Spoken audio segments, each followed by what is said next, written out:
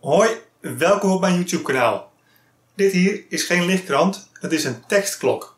Kijk, goedemiddag, de tijd is 14 over half 4. Nou, dat klopt, zo laat is het. In deze video zal ik je laten zien hoe ik deze tekstklok heb gemaakt. En als je wil, dan zou je kunnen meebouwen, want ik heb op mijn website een uitgebreid artikel gemaakt met uh, alle schema's. Uh, de software kan je natuurlijk downloaden, de sketch en je vindt links naar alle onderdelen. De elektronica onderdelen die heb ik gekregen van opencircuit.nl, de webshop. En op mijn website vind je ook links naar hun webwinkel met uh, alle onderdelen die je nodig hebt. Nou, hartelijk dank aan uh, OpenCircuit voor het sponsoren van dit project. En nu gaan we kijken naar hoe ik hem heb gebouwd. Toen ik deze klok ontwierp en gelijkertijd de video maakte, toen heb ik op een gegeven moment een stapje terug moeten doen. Want uh, het ontwerp deugde niet helemaal. Maar ja, ik had wel de video bijna af. Dus dat ga je misschien zo meteen zien in wat beelden die, niet helemaal kloppen met, uh, met de werkelijkheid. Het had te maken met deze real-time clock modules. Dat is een uh, chipje. Er zit een klok in. We zien hier een uh, klokkristal. En die houdt dus heel nauwkeurig de tijd bij. Je moet hem één keer programmeren. Je moet hem vertellen hoe laat het is natuurlijk. En daarna houdt hij het voor je bij. Als de spanning afvalt, dan heeft hij een backup batterij hier ook. En die zorgt ervoor dat het chipje netjes doorloopt, zodat hij toch de tijd niet verliest. En mijn ontwerp die ging eigenlijk een beetje daar te veel van uit. Maar ja, op een gegeven moment worden die batterijtjes natuurlijk slecht. En als dan een keer de stroom eraf valt, dan is hij de tijd kwijt. En dan moest je dus eigenlijk uh, dat ding openmaken, een USB-kabel aansluiten en het Arduino-programma opstarten om hem opnieuw te programmeren. Nou, dat is natuurlijk niet echt uh, gebruiksvriendelijk. En ik wil deze cadeau geven aan iemand die daar geen kennis van heeft. Ja, en dan uh, is het natuurlijk niet handig als dat ding uh, op een gegeven moment de tijd kwijt is en je hebt geen mogelijkheid om het zelf af te stellen. Nou, daarom zit er nu achterop een rotary encoder. En dat heb ik dus als laatste toegevoegd. Kijk hier. En die heeft uh, meerdere functies. Als ik hem één keer indruk, gaat hij uit. En ik kan hem ook weer aanzetten natuurlijk. En als ik hem twee keer indruk, als die aanstaat, klik, klik, dan kan ik dus de tijd gaan instellen. Als ik eraan draai, dan kan ik dus de uren instellen en de minuten. En dan loopt hij weer verder. Zo is het natuurlijk veel gebruiksvriendelijker. Zo kan je het zelf afstellen. En is het gewoon een leuk op zichzelf staand klokje. Laten we eerst even kijken naar de onderdelen die we nodig hebben voor deze tekstklok. Ik heb drie pagina's gemaakt, want het zijn best wat onderdelen en het is ook best een uitdagende beeld om te maken. Maar ik ga ervan uit dat je al wel een beetje iets hebt gedaan met Arduino. Misschien heb je wat uh, lichtjes laten knipperen, wat ledjes. Um, en je weet in ieder geval hoe je een sketch moet uploaden met Arduino. Dan, uh, dan moet je hier wel uit kunnen komen. Um, nou, we zien hier dus de bekende Arduino Nano, die hebben we nodig. En hier zien we de LED matrix modules. Um, dit zijn viervoudige en ik raad je aan om er twee te kopen. Twee vind ik zelf een mooie maat om aan elkaar te koppelen. Je zou het ook met drie of vier kunnen doen als je een hele brede lichtkrant wil maken. Of als je de kosten een beetje wilt beperken, dan gebruik je er gewoon één. Dat kan ook. Ten slotte hier dus de rotary encoder met druktoets. En die gebruiken we om de tijd in te stellen. Dan hebben we hier de RTC modules, de Real-Time Clock modules. En uh, je hebt er hiervan maar eentje nodig. Maar je hebt drie opties, drie verschillende modellen. Ik raad je eigenlijk aan om de middelste te nemen, de DS1307. Dat is namelijk ook de enige waarbij je een batterij erbij krijgt. Dus dat is wel handig. Uh, verder kan het ook met die andere twee. Ik heb schema's en software voor die andere twee. Maar ik ga me in de video concentreren op deze middelste. Het voorbeeld wat je net zag, dat heb ik gemaakt met deze. Nou, en tenslotte iets over de voeding. Ik raad je aan om het project te voeden met een 9 volt 1,3 ampère voedingsadapter. Dat is een veilige optie. Je zou ook kunnen kiezen voor een 12 volt adapter natuurlijk. Want we maken gebruik van een spanningsregelaar hier. En die maakt er netjes 5 volt van. En om die spanningsconnector aan te sluiten op ons kastje gebruiken we dus deze connector. En dat zijn eigenlijk alle onderdelen. Om te beginnen ga ik deze twee LED-modules, LED-matrix-modules aan elkaar solderen. En ik heb daarvoor de buitenste twee uh, matrixmodules eraf gehaald. Ik haal ze expres niet allemaal eraf, want nu weet ik nog hoe ze terug moeten. Want ik zie dat hier tekst staat, dus ik weet dat deze zo met de tekst daar weer terug moet komen. En dan kan ik hem niet per ongeluk verkeerd omdoen. Zo dus. Eén optie is om uh, deze dingen eraf te halen. En vervolgens aan de achterkant wat uh, draadbrugjes te, te solderen. Maar wat ik nu eigenlijk wil proberen is deze er gewoon op te laten zitten en die strak ombuigen tot hij eigenlijk weer precies hierin valt.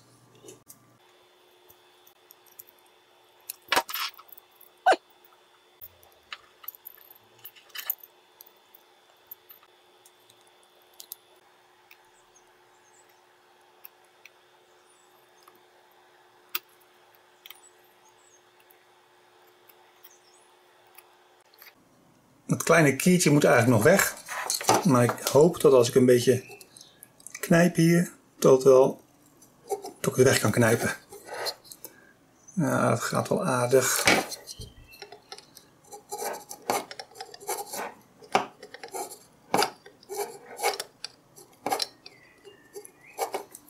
Het is misschien een beter idee om die twee modules eerst aan elkaar te lijmen toen ik die lichtkrant maakte, heb ik hier hele dunne stripjes hout. Eigenlijk gewoon uh, van die vierkante satéprikkers. Die heb ik hier tegen aangelijmd met twee componentenlijm. En aan deze kant ook. En dan hebben die modules in ieder geval al wat mechanische stevigheid. En blijven ze mooi strak tegen elkaar zitten. En dan soldeer je pas die brugjes erin. Door gewoon draad er doorheen te steken en dat vast te solderen. Maar dan moet dus eerst die connector eraf gehaald worden. En het is sowieso een goed idee om ze aan elkaar te lijmen, want dan krijgt de hele unit wat meer stevigheid, want nu is het toch een beetje slap. Deze gaan er weer in.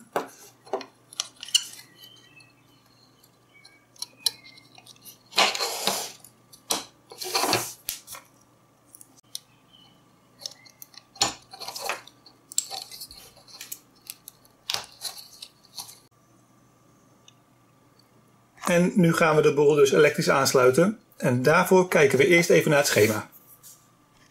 We kijken nu eerst even naar het schema. Het, is een, uh, ja, het lijkt een heel ingewikkeld schema als je het zo ziet met al die draadjes. Dus we gaan het even stap voor stap doen. Maar ik begin even bij de voeding. Die doe ik eerst. Kijk, we hebben hier de, voedings, uh, de spanningsregelaar, die LM2596. En daar komt dus 12 volt binnen van onze connector. En er komt zometeen 5 volt uit. Nou, die 5 volt die gaat naar alle componenten. Dus die gaat naar de VCC van onze LED-matrix. En dan gaat die door naar de 5 volt van onze RTC-module en naar de 5 volt van Arduino. Hij gaat dus niet naar V-in van Arduino, hij gaat naar 5 volt van Arduino. Zo gaat hij. Um, hier staat VCC. Bij sommige modules staat daar ook gewoon 5 volt. Um, hier heb ik nu 5 volt getekend, maar daar zou ook wel eens VCC kunnen staan. VCC is gewoon de positieve kant van de voedingsspanning. En ground is natuurlijk gewoon ground. Dit is uh, de hele voeding. Dan weer terug naar het schema. Maar zoals ik zei, we doen het even stapje voor stapje. Dus ik begin hier, bij de matrix module. Die krijgt dus voeding, VCC en ground. En dan heeft hij nog drie draadjes over, of drie pootjes. En de eerste is data en die gaat naar 11. De tweede is CS, dat is chip select en die gaat naar pootje 10. En de klok die gaat naar pootje 13. Je moet het gewoon stap voor stap bekijken, dan blijft het overzichtelijk. Hè? De volgende is onze RTC-module. Die kreeg ook voedingsspanning en ground, hebben we net gezien. En dan heeft hij nog twee pootjes die je aan moet sluiten. Die middelste hier die laten we onbenut. Maar de bovenste, dat is SDA en die gaat naar pootje 8. En SCL die gaat naar pootje 9. Prima te overzien ook. En dan hebben we die rotary encoder. Die eh, heeft hier aan de voorkant drie pootjes. En aan de achterkant nog twee pootjes. Die achterste, dat is het contact van de schakelaar. Dus als je hem indrukt, dan maakt hij hier tussen contact. En als je hem ronddraait, dan gebeuren er allerlei dingen op deze drie pootjes. Het middelste pootje, die hangt aan een van de pootjes van de schakelaar en die hangen dus samen aan ground. Dat is makkelijk. Nou, de schakelaar Deze dus, die groene. Die zit dus aan pootje 3 vast. En de buitenste twee van de rotary encoder, die gaan dus naar pootje 2 en naar pootje 4. Dat mag je ook omdraaien, dat is niet heel belangrijk. Dan zul je alleen merken dat de knop de andere kant op draait voor je gevoel. Maar dat is, dat is niet zo erg. En dat is eigenlijk al het hele schema. Kijk, ik heb het hier nog een keertje getekend met een tabelletje erbij. Dat kun je dus vinden ook op mijn website, deze, dit schema. En uh, het voedingsschema heb ik even apart getekend. Want het zat een beetje in de weg met die encoder hier. Dus dat heb ik me even los van elkaar gelaten. Als je gebruik maakt van uh, een van die twee andere realtime klokmodules, dan kun je daarvoor ook schema's terugvinden op mijn website. En uh, nou, die zien er bijna hetzelfde uit. Alleen is natuurlijk de klokmodule anders. Dus dan moet je goed kijken waar de draadjes naartoe gaan. En uh, dan hoeft het echt geen probleem te zijn. Ik heb hier nog even een close-up van die rotary encoder. Nou, hier hebben we dus drie pootjes van het uh, draaigedeelte. En hier aan de andere kant twee pootjes van het drukgedeelte. Het middelste pootje hier aan de voorkant, die gaat dus met het lusje hier naar de achterkant, naar een van de pootjes van de schakelaar. En dat gaat dus naar ground, dat is die zwarte draad. Die andere draad, die wit-gele hier, die is dus van de schakelaar, die gaat dus naar pootje 3. En hier aan de voorkant hebben we nog twee over, want die middelste was dus ground.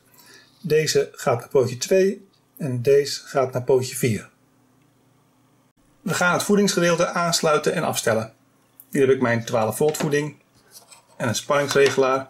En dit is de connector die ik heb gekocht bij Open Circuit. Je krijgt er 5 in een zakje. Dus je hebt nog extra voor toekomstige dingen. En het is een beetje lastig om te ontdekken wat hier nou de plus en de min wordt. Dat wil zeggen wat de buitenkant wordt en wat de binnenkant is. De buitenkant is hier de min en de binnenste connecties dat is de plus. En die gaat natuurlijk hierin. Dus die buitenring dat is mijn min. Maar welk pootje is dat nou? Nou, als je heel goed kijkt, dan kan je het zien. Als even kijken waar de pootjes zitten. Hier is een pootje. Nee, hier het andere pootje. Daar zie je als je naar binnen kijkt tot daar een uh, stukje metaal naar binnen loopt wat een bochtje maakt zo. En dat zie je daar dus zitten. Nou, misschien kan je het op de video niet zien. Dus dat ding, dat boogje, dat drukt tegen de buitenkant hier van de connector aan. Dus dat is mijn min. Deze dus. Nou, als ik zo kijk, dan zie ik dat het het langste pootje is. Het langste pootje is hier de min. Of in ieder geval de buitenkant van de connector. Ja, er bestaan namelijk ook van die connectors en adapters waarbij de buitenkant de plus is. Maar die zijn wel heel erg ouderwets hoor vaak. Als je nu gewoon een nieuwe koopt, dan kan je er heel zeker van zijn dat de buitenkant de min is en de binnenkant de plus. Om het zeker te weten gaan we het even nameten. Multimeter erbij en even kijken. Het kortste pootje, dat is dus als het goed is de plus. lange pootje de min. En ik heb plus 12 volt. Dus dat lijkt te kloppen. Andersom zou die dan natuurlijk min 12 volt moeten geven. Ja, dus dat is verkeerd om. Dus het langste pootje is inderdaad de min.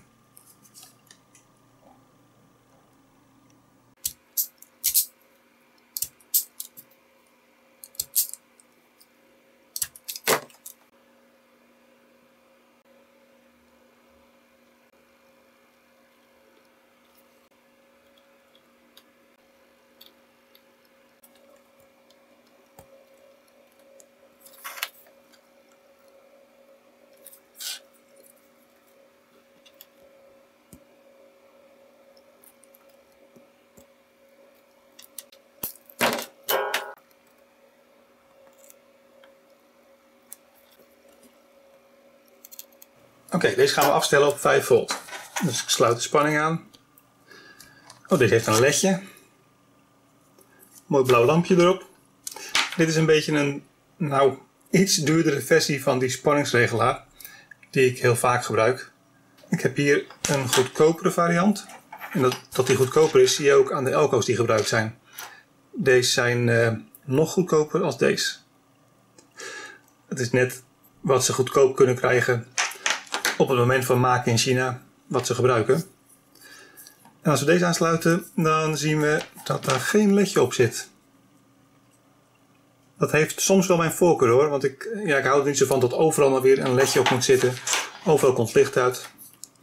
Soms is het wel leuk. Nou, deze gaan we afstellen.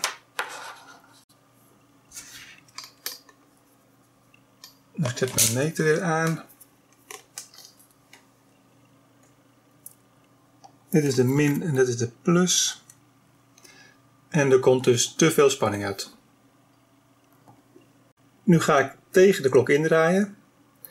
En soms moet je behoorlijk doordraaien, want die potmeters, dat zijn 10 slag potmeters, dus die kunnen wel 10 keer rond. En kijk, ik draai nu tegen de klok in en de spanning zakt nu. Dat is goed, dat willen we. Kijk. 4,8, nou een beetje terug weer. 4,9. Prachtig. Zo. 5 volt. De aansluiting voor die twee LED-modules, die zit natuurlijk helemaal aan deze kant nu, op die meest rechtse LED-module. Maar die connector, die zit eigenlijk hier op een rottige plek, want die steekt nu uit. Zometeen moet alles mooi in een kastje komen. En dan is het waarschijnlijk onhandig dat deze uitsteekt. Dus die moet eigenlijk hier aan de achterkant gewoon omhoog steken. Dus wat ik dan doe, is om het mezelf makkelijk te maken en niet uh, dat ding helemaal toe los solderen. Ik buig die pootjes recht omhoog. En dan druk ik dat pootje zo op mijn tangetje. Dan verwarm ik het eilandje. En dan druk ik hem door. Dat ging een beetje ongecontroleerd, maar je ziet dat het is gelukt.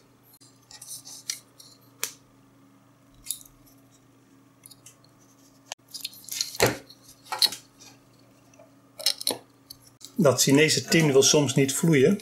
Daarom is het soms handig om een beetje verse tin op je bouw te hebben. En dan vloeit het wat makkelijker. Dus dan gaan we nog een keertje. Kijk, deze gaat wat meer, iets meer controle.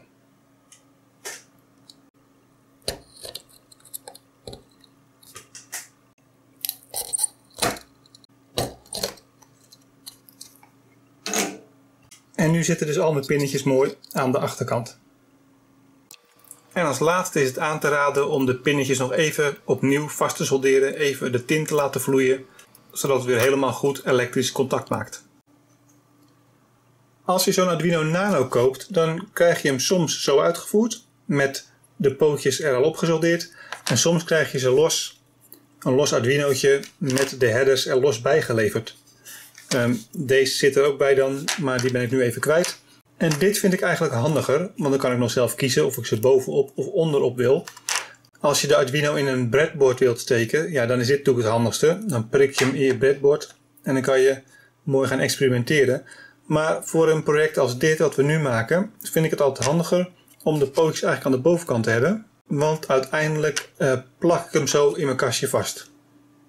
En dan heb ik nog een tip voor beginners. Het is ook wel eens handig om alleen de pootjes te gebruiken in de pinnetjes die je nodig hebt in dit project. Die headers die breek je heel makkelijk af. Zie je? En dan soldeer ik bijvoorbeeld alleen hier uh, de ground erin. En twee verder de 5 volt. En dan is zometeen de kans kleiner dat ik het verkeerde pootje per ongeluk aansluit. Want alleen de contacten die ik nodig heb, die hebben dan een pennetje. Kijk, en dat ziet er dan zo uit. Minder pinnetjes, dus minder kans op fouten. En ik heb mooie headers over voor in mijn onderdelenlaadjes. Die komen in de toekomst wel een keer van pas. En dan heb ik nog een tip. Want als we zometeen de boel gaan aansluiten, dan zul je merken dat uh, de power en de ground pinnen, hier 5 volt en ground, dat die behoorlijk populair zijn. Want daar moet de spanning binnenkomen op 5 volt en ground. En die moet ook naar de lichtkant 5 volt. En hij moet naar de real-time klokmodule. En de ground natuurlijk ook. En de ground moet naar de schakelaar. Dus die zul je of moeten doorlussen op die dingen. Maar het is in ieder geval handig om te weten dat er hier aan de overkant nog een ground zit. Die je zou kunnen gebruiken. En op deze header, de programmeerheader is dat. Daar zit ook nog ground en 5 volt. Als ik hem zo hou met de USB boven. dan zit hier linksboven in die header zit nog een 5 volt en rechtsboven nog een ground. Ik begin met de aansluitingen voor de lichtkrant. Ik heb 5 draadjes geknipt van 15 centimeter. Voor de 5 volt neem ik rood en voor de ground neem ik zwart. En voor de overige aansluitingen probeer ik een uh, andere kleur te vinden. Dan doe ik een stukje krimpkous om alle draadjes en die krimp ik met mijn hete luchtblazertje.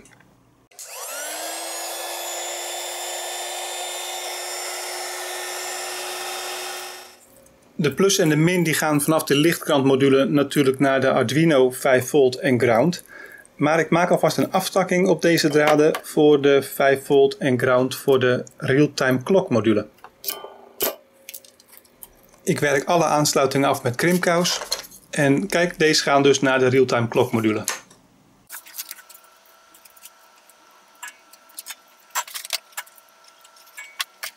Dit zijn beelden van het eh, solderen. En ik uh, laat niet elke soldeerverbinding in detail zien, want dat zou gewoon veel te veel tijd kosten, veel te saai zijn. Je moet gewoon goed het uh, schema volgen. Het schema kun je ook in detail vinden op mijn website. En dan kan je het voor je op de monitor zetten, zoals ik ook daar heb. En het is dus gewoon een kwestie van het schema stap voor stap volgen.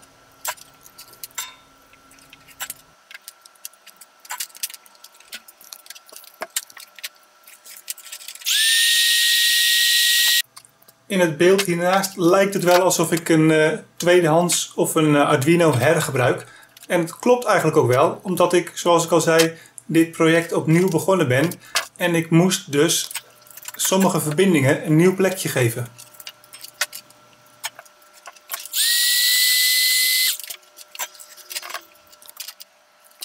Het solderen schiet al lekker op. Ik leg in de beelden hiernaast nog even de laatste hand aan de rotary encoder. En dan is al het soldeerwerk alweer klaar.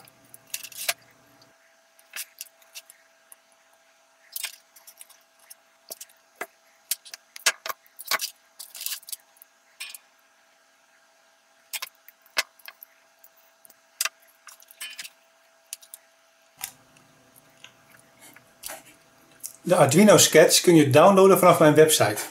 Wat je doet is je gaat naar www.bartvenneker.nl, kom je hier terecht en hier staan alle artikelen. Er staan een hoop leuke projecten die je zou kunnen maken. En de bovenste is nu waarschijnlijk dus de tekstklok. Nou, als je daarop klikt, dan kom je hier terecht. Dit is nog niet helemaal klaar zoals je ziet. Maar we krijgen dus hier alle onderdelen. En alle schema's. En uiteindelijk dus de Arduino sketches. Hier download je dus degene die jij nodig hebt. En dat is dus afhankelijk van het type uh, real-time klokmodule die je hebt gekozen. Nou, nu bijvoorbeeld eh, de 1307. Dan krijg je een zip-file. En in die zip-file staat een schema en een Arduino sketch en een library. En die library, deze dus, 1307, die kopieer je naar je libraries folder. Op Windows is dat uh, My Documents Arduino Libraries. En op Linux is het uh, je home folder Sketchbook Libraries. Ik heb de software voor de DS1307 even ingeladen in Arduino. Dan kunnen we daar even naar kijken. Wat je eigenlijk alleen maar hoeft te doen, is de breedte van je LED-matrix in te stellen. Nou, ik heb twee modules aan elkaar gesoldeerd, dus ik heb in totaal 64 van die ledjes naast elkaar. Dus het is 64. Gebruik je maar één module, dan is het 32. En gebruik je drie modules, dan is het 96. Enzovoort. Maar ik heb dus 64. Nou, dit zouden we nu gelijk kunnen programmeren en dan eh, zou het eigenlijk al moeten werken. Wat je eventueel zou kunnen doen, is de tijd eenmalig uh, softwarematig instellen. Dus als ik even naar beneden blader, naar de setup hier dan. Zie je hier een paar regels, die zijn commentaar. Maar als je die uh, gewoon geen commentaar maakt, zo dus, dan zou je kunnen zeggen van het is vandaag woensdag. Nou, het is eigenlijk vandaag zondag. Sunday.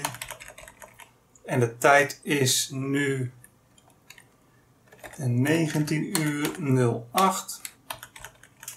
En de datum, nou die is inmiddels 12-7 2020. Nu heeft hij gelijk de tijd Als je hem programmeert, dan uh, gaat het klokje gelijk lopen.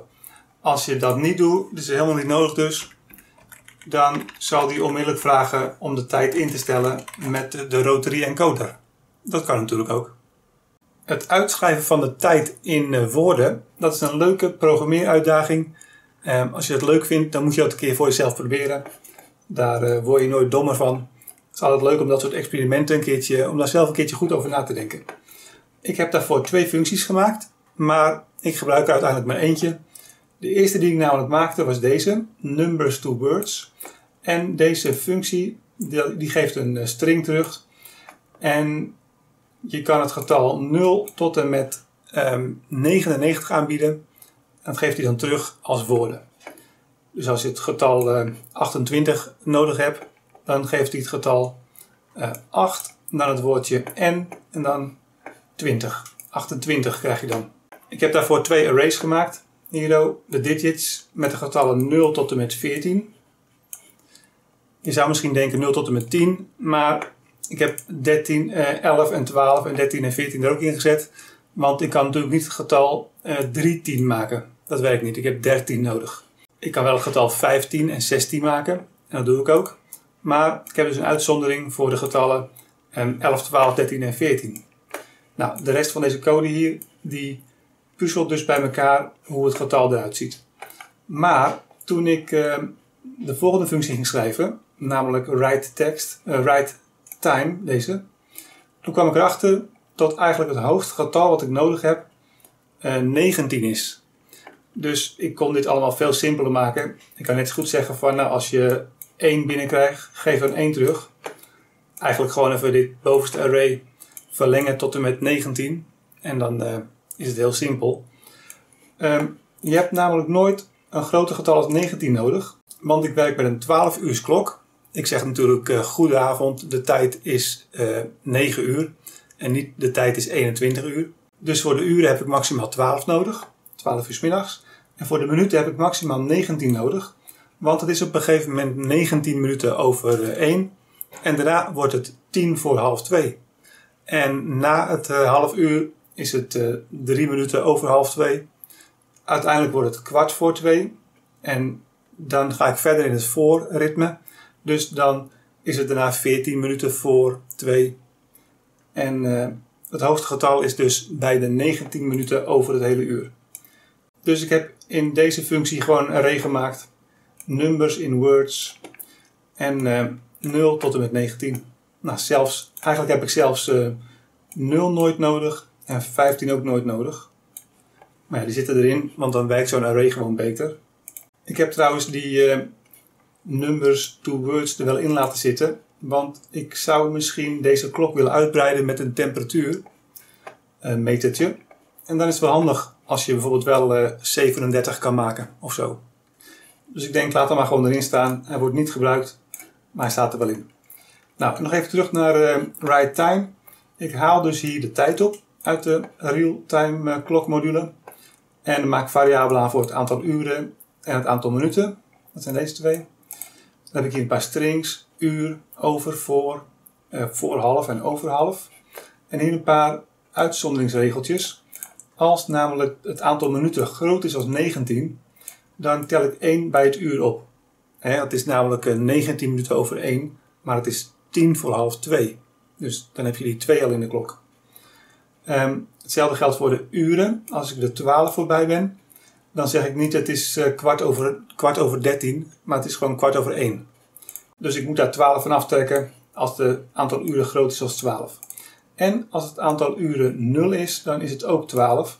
Want middernacht noemen wij gewoon 12 uur s'nachts, kwart over 12 en niet kwart over 0. Dus dat zijn uitzonderingen. Nou, daarna is het een, uh, even een puzzeltje, wel een erg leuk puzzeltje, dus dat moet je maar een keer wagen. Ik zeg hier dus, als het aantal minuten 0 is, dan return ik gelijk.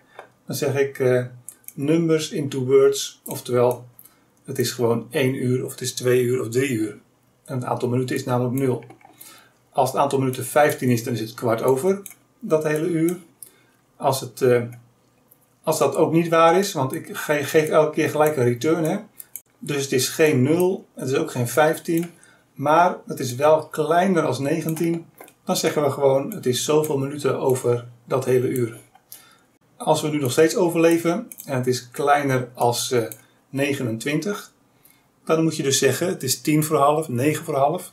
Dus dan moet je 30 nemen en daar het aantal minuten van aftrekken.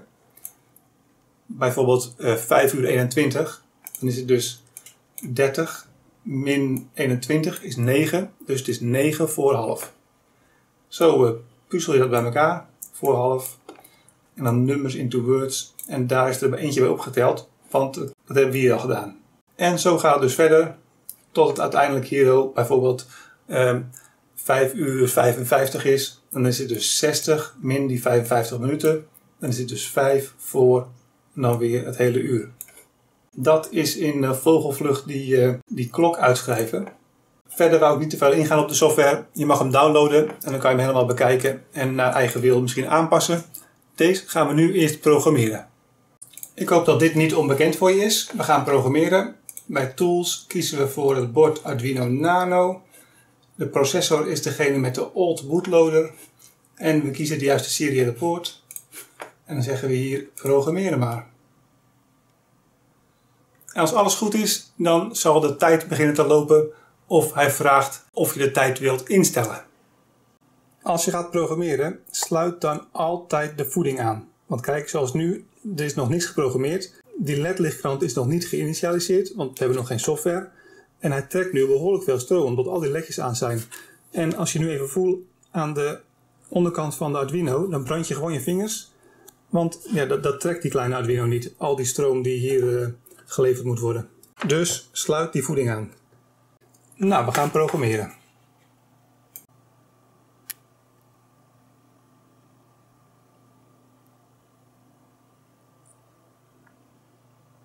Ik maak een behuizing voor het lichtkrantje. Ik maak er gelijk twee. Ik heb al die onderdelen uitgezaagd met behulp van de X-Carve. Dit is de achterkant. Ventilatie, schakelaartje en hier voor de power connector. En aan de onderkant komt een soort serviceluikje. Want je moet natuurlijk wel die batterij kunnen vervangen. Nou, daarvoor is dit frame. En dit is uiteindelijk het dekseltje. En in die gaatjes komen magneetjes. En dat klemt dan dus hier aan vast. En dat frame dat lijm ik dan weer vast zo in het gat hier. En om dat nauwkeurig te kunnen doen, moet ik eigenlijk eerst nu die magneetjes hebben. Maar daar wacht ik nog op. Dus ik hoop dat ze snel binnenkomen. Ik ga nu wel alvast die kastjes eh, in elkaar lijmen.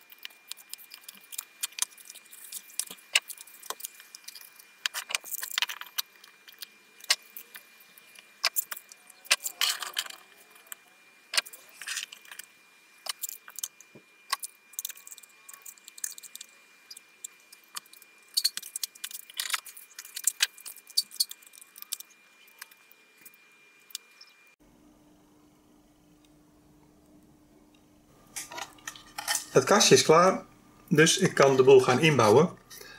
Um, ik gebruik nu op camera een ander model als net. Dit is degene met de uh, DS3132 uh, klokmodule. En ik bouw namelijk twee van die dingen. Ik heb hier diegene met die 1307, maar het kastje hiervoor is nog niet klaar. Dus ik laat het nu even zien uh, met deze. Zoals je ziet heb ik de batterij eruit gehaald die batterij was één grote teleurstelling. Eh, al na een week of twee merkte ik dat, uh, dat hij zijn werk eigenlijk niet meer goed deed. Dus ik heb hem er nu bij uitgehaald. En dan uh, ja, kan hij ook niet leeglopen. Kan hij ook niet gaan lekken. Dat soort ellende. Dus nou, een beetje de kabels uh, fatsoeneren. Maar dat, dat, gaat niet echt hè. Het is één bende. Nou, zo maar. Ik heb de voedingsconnector eraf gehaald. Want die voedingsconnector die moet vanaf de buitenkant erin gezet worden. Dus ik moet nu vanaf de binnenkant de draadjes er doorheen steken. En dan opnieuw vastsolderen. Um, denk er wel om dat dus het moertje even om de draadjes moet eerst. Kijk. Want die kan echt niet vanaf de buitenkant erop hoor. Hm.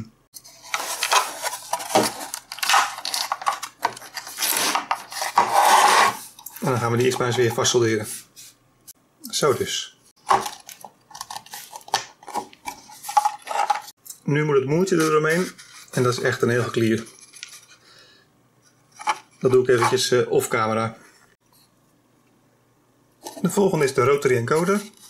Die gaat iets makkelijker, want die kan namelijk vanaf de buitenkant worden vastgedraaid.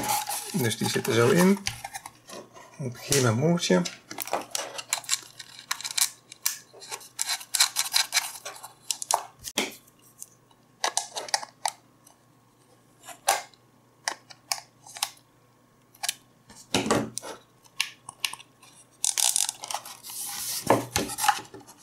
En nu uh, een plekje gaan geven in het kastje.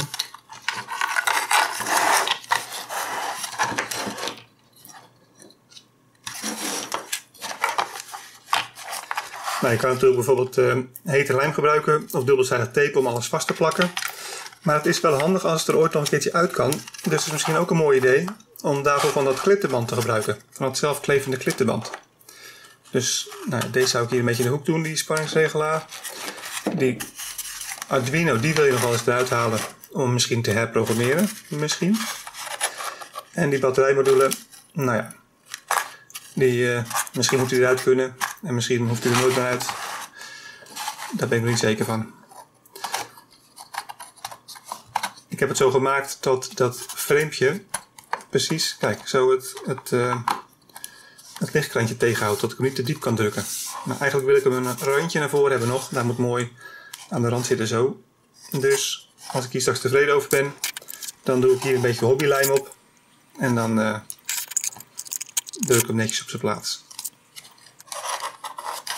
Voor nu doe ik het gewoon even zo erin. En verder niks. Ik ben ook blij met mijn magneetjes. Dat werkt erg goed. Kijk. Klik. Nou, het even hartstikke vast. Andersom kan ook. Ook allemaal mooi in het midden. Dus dat is erg goed gelukt. Zo, mijn twee tekstklokjes zijn klaar. Ik weet niet of je het kan zien, maar de onderste hier die is een fractie groter als de bovenste. Die bovenste die heeft de LED-modules eigenlijk strak tegen elkaar zitten. En die onderste is van iets ander type. Hij is iets feller. Maar de LED-modules die zitten niet helemaal strak tegen elkaar.